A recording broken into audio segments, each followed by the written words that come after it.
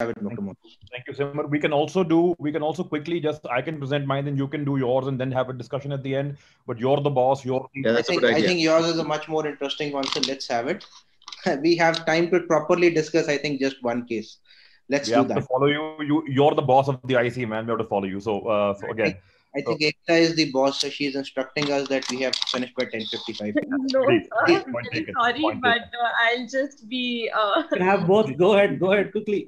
please, you are doing your job. That's fine. Please go ahead.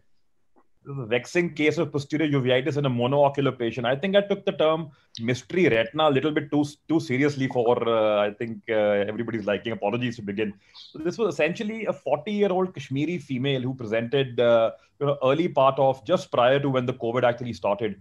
She had chief complaints of vision loss in the right eye for one and a half months. It was not associated with redness and photophobia. Um, and the left eye was phthisical because she sustained trauma in the childhood. That's the right eye anterior segment. That's the left eye. That's what was there. The eye, which was the only functioning eye that she had, and barely at that, had hand motions. There was two plus anterior, uh, uh, two plus cells in the AC. There was posterior subcapsular cataract, and there was media grade two to three, and there were dense vitreous membranes, and a lot of this yellow stuff going on uh, which you could get a fleeting glimpse of because of the you know floating membranes. Um, so I mean, this is what she was carrying with her. She had been to two centers to Amritsar, and then this was what she was had a Mantoux of 10 by 10, no history of TB, TB contact, no history of oral steroids, although had received posterior subtenon Kenacort injection in Amritsar, was started on tablet acyclovir for the past 10 days because as per notes, they had said that this looked like retinitis. Uh, she was carrying this battery of investigations, including HIV, TPHA. They were non-contributory. This is the scan that we got through that hazy media. Uh, you know, pardon that because this is during, uh, you know, just because of the COVID-related issues. So we had a cellophane on our photo. Uh, you can see that, you know, that's that. I mean, I don't know what that tells you. I know what the diagnosis is. So in retrospect, I can maybe make out something. Um, uh, but, um, you know, the OCT wasn't forthcoming in this space. We went and did ultra wide field FA since there were areas in the periphery. So on the indirect, we, we could able we, we were able to see more than what we could do with the 90D or a posterior segment examination because we could look past the vitreous haze, and that's and that's what the patient had, right? Had staining of that plaque-like peripapillary macular lesion, which remained same all throughout and there were these point like uh, multiple point pointed hyperfluorescent lesions in the periphery which corresponded which were leaking in the late phase which corresponded to the clinically discrete yellow peripheral lesions. That's all that we could see um, at this point in time, you know, the differentials were, is this, this multifocal choroiditis with panuveitis? Is this ARN? Is it some primary, secondary vitreoretinal lymphoma, masquerade, something we don't know? And given that it's a one-eyed patient, you'd always want to think of atypical sympathetic ophthalmia. But given that there was, you know, what the appearance was, no fluid, no subretinal fluid, the choroid seemed relatively uninvolved on the OCT. Well, that that's what we did.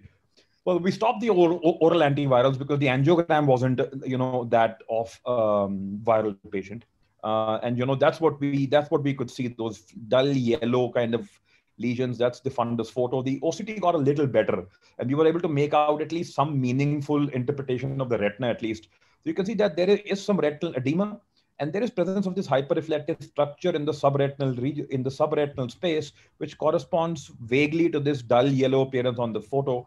And if we were to keep in mind the appearance of on the angiogram this to me clinically on the oct and fa looked like fibrosis because of the shape and you know the uh, the staining characteristics on the angio um, uh, so, I mean, we don't know what's going on. I talked to the lady. I'm, I'm, like, let's take her other eye out. We might be able to get a clue. That's what we did. And we're just watching her. She's admitted we did nothing.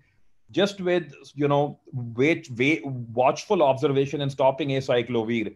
And, and, and mind you, enucleation. This is three days later. We are, we are, we are able to get a meaningful wide field autofluorescence image. You can see that a lot of that vitreous haze has gone uh, you can now make out that plaque in the posterior pole, which I'm calling fibrosis and is hyperautofluorescent, and those peripheral uh, lesions also.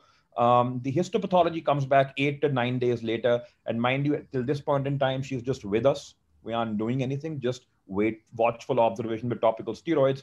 So this was, for, for want of time, CD20 uh, cells were much more than CD3. There was massive granulomatous inflammation. Now, and this was according to the report, suggestive of sympathetic ophthalmia. However, we know, and I'm going to, um, you know, um, started on IVMP.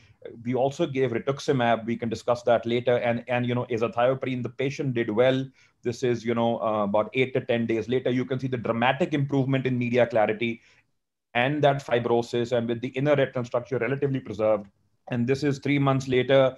Uh, we have the last follow-up of this patient in September. Patient was doing fine, and subsequently has been following up with Dr. Bashir, who the, the referring surgeon from uh, Kashmir, and the patient is doing okay.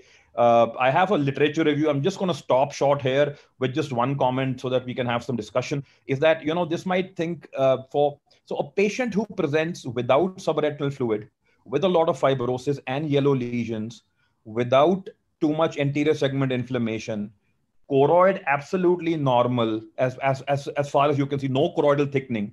And on histopathology has predominant of CD20, which are B cell markers, and not CD3, which are T cell markers, is the complete antithesis of what sympathetic ophthalmia that is either available in, in literature or being taught to us, except a rare variant of sympathetic retinitis, which was described by Dr. Gass and then confirmed by Dr. Rao. So hence I wanted to bring out this case, which is a rare presentation, aggressive variant, and most eyes presented in literature till now. I'll stick my neck out and say all eyes presented in literature till now have been lost in monoocular patients with this disease. So, so thank you.